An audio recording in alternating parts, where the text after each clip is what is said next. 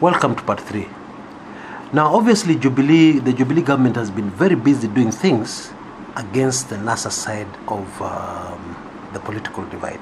Okay, really, uh, when we when we come and break it, when we have broken it down in the way we have here, it is very clear. Okay.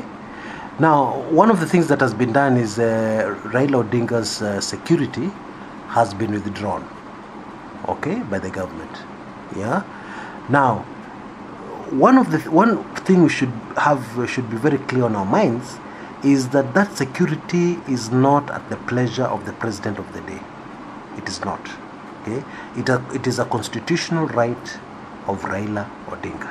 Okay, so what the government is actually doing is withdrawing the, the you know a right, a constitutional right of Raila Odinga. Now, if that is not provocation, I have no idea what provocation is. Okay, and of course the the, the excuse is even more ridiculous because you know this is a comp- uh, what is happening between NASA and Jubilee is a political contest. And then Matiang'i goes and says, you can see it on your screen, where do you assign your contingent of more than 20 armed police officers so that you can use them to intimidate the same government that has deployed them to you? I'm telling you, this is this is comedy, and the provocation does not stop there. Yeah, when uh, Honorable Kalonzo Musyoka, former vice president of this country, is trying to leave the country, which he was doing yesterday on uh, September 28th, he stopped at the airport, and then is informed that uh, in future, if he needs to leave the country, he has to be cleared by State House before leaving the country. what? Now tell me, if this is not provocation, what is it? Okay? And it's good that we started part one in the way we did because now you know the motive. And if you do not believe the motive, I think now you're seeing unfolding evidence to prove the motive to you beyond any reasonable doubt. The truth of the matter, whatever the, their PR tell you, whatever the image consultants tell you, whatever they're trying to cheat Kenyans, the truth is Jubilee does not want the elections. And they have good reason to not want the elections. Yeah, because they can't win it. It's as simple as that. They can't win a free and fair election. They would want an election, yeah, which they can manipulate or which they're in a position to manipulate. But if they see that they, they're going to an election which they cannot manipulate, they will not be interested. Yeah, that, that, that should be very clear to everybody. Then there's this very strange and bizarre Nairobi Business Association, yeah, whose members all seem to have dreadlocks. what do these guys actually trade in? Yeah, um, based on their dressing, you would think that they trade in something that uh, Bob Marley really used to like, yeah? anyway, this association is of great concern, yeah? Because one of the objectives this association is supposed to have is to protect businesses from NASA demonstrators. Now, what that means is that uh, this business will be able to have, this uh, organization will be able to have a license or will be able to be in a place where they can clash with NASA supporters. Now, if if if you if if that is not disaster, I don't know what disaster is.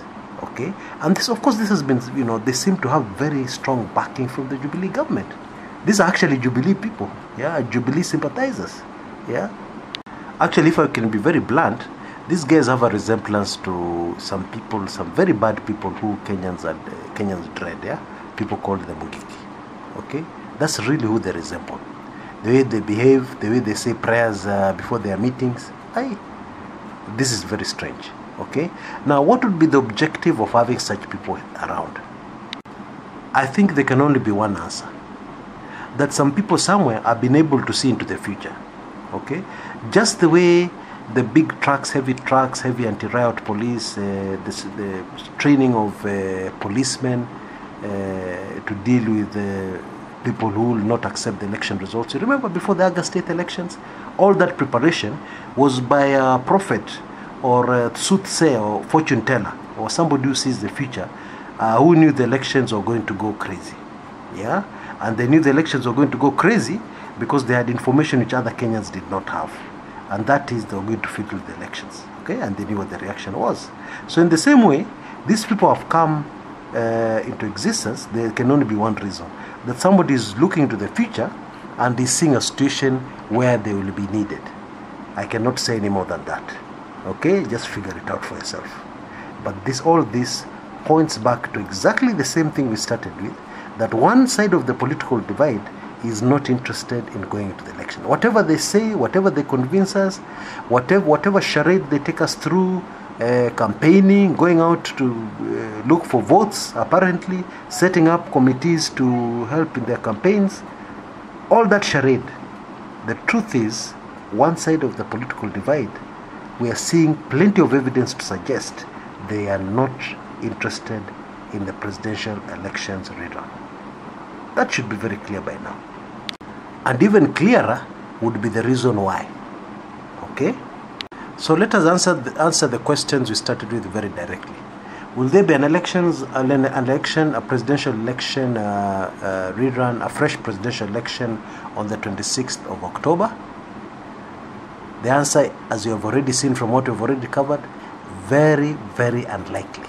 Yeah, because we have a situation whereby NASA will not go into that election unless some certain changes are made to enable the field to be a level playing ground.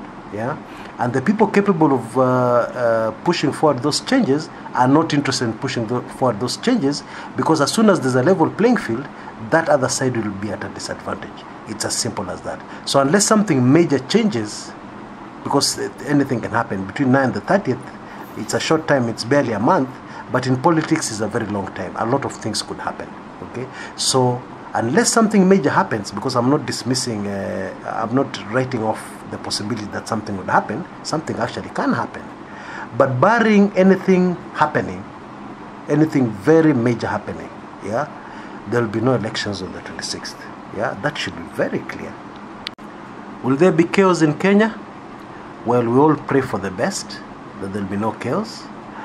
Very interesting because uh, if you asked me, all the things that have happened so far, it is a great miracle that the country is still peaceful.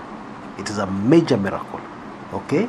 And uh, maybe I can just answer that question by saying uh, a miracle, God cannot start a miracle that will not finish. Yeah? So I am hanging on. Yeah, I know I'm hanging on to a very thin thread. Yeah, but I still choose to hang on to that thread that somehow the miracle will be sustained and despite everything else, including the things that are still to come, this country will remain more or less peaceful. Until next time, this is Chris Kumekucha.